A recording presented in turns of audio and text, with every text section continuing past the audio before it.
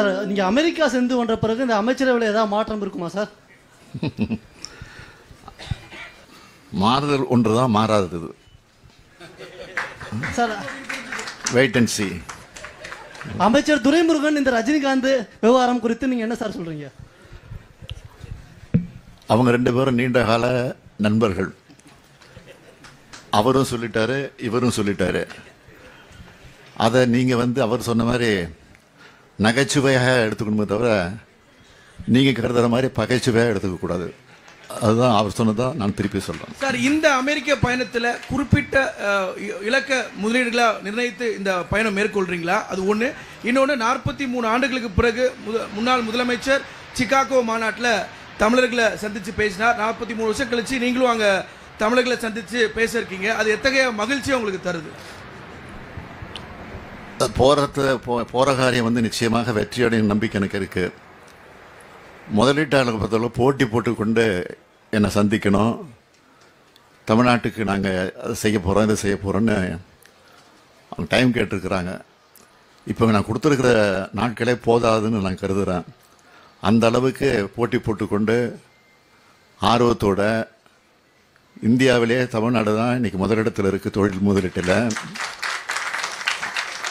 அதை தமிழ்நாட்டில் இருக்கிறவங்க சொல்கிறாங்களோ இல்லையோ வெளிநாட்டில் இருக்கிறவங்க சொல்கிறாங்க நிச்சயமாக நீங்கள் நினைக்கிற மாதிரி நடக்கும்.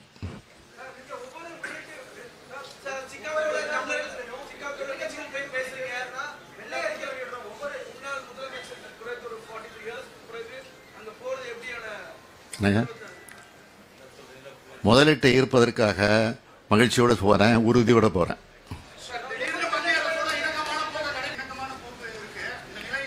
என்ன எனக்கு மனநிலை? அது உங்களுடைய எண்ணமாக இருக்கலாமே தவிர நாணயம் வெளியீட்டு விழுந்தது மத்திய அரசினுடைய பொறுப்பு அது அவங்களுடைய அனுமதியோடு தான் வெளியிடுறது. அதனால அந்த மரியாதை அடிப்படையில் அந்த முறைப்படி அவங்கள அழைச்சோம் வந்தாங்க வெளியிட்டு போனாங்க. அதான் விஷயம். நீ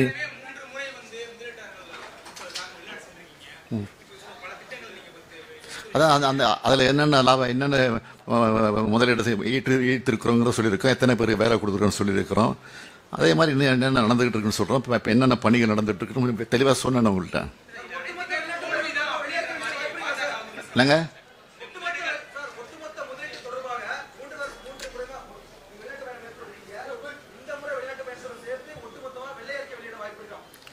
வெள்ளை அறிக்கை வந்து அது வெளியிடுறது வந்து மரபு கிடையாது பொதுவாக காரணம் வந்து பல மாநிலங்களில் இருந்து அந்த முதலீடு பெறத்துக்கு போட்டி நடந்துக்கிட்டு இருக்கு.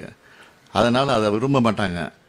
ஆனால் முதலீடு முழுமையாக வந்ததுக்கு பிறகு நாங்கள் வெளியிடுறோம் நிச்சயமாக அறகுறையாக சொல்லிகிட்டு இருக்க முடியாது.